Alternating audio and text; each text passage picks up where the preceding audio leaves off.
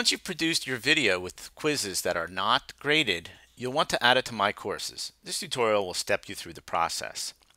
So you're going to have a folder that's going to have all of the files in it that when you produced your video, your video. You want to find that file. I put things on the desktop for easy access. And I'm going to right click on it and choose send to and then choose compressed zip folder. What this is going to create is a zip file that contains all the files that are within this particular folder. Now we need to go into My Courses. We go to Edit Course. We go to Manage Files. We click on Upload. And then we click the Upload button.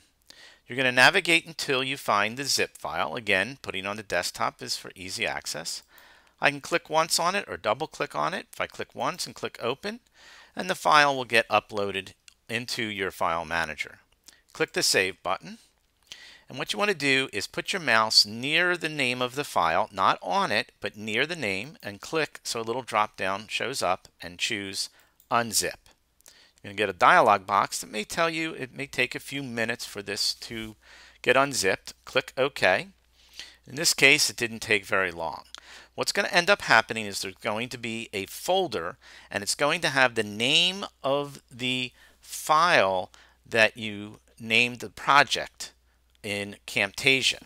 I happen to call mine tutorial project, but you may have called yours chapter 2 or whatever. So I'm going to click on the name of the folder to open it up and I'm going to go and find the file that has the name of the project, the name of the file you named in Camtasia.html put my mouse near the uh, name of it and choose Add Content Topic. I'm going to choose the module that I want it to be placed, and then I'm going to go ahead and choose a content topic. Click on the Add button, and you should get confirmation that it was created. Now, just to make sure that you know that it was created, click on the Course Content tab, navigate to the module, click on the topic, and you'll see there's my video. And to make sure it's working properly, you can go ahead and start it up.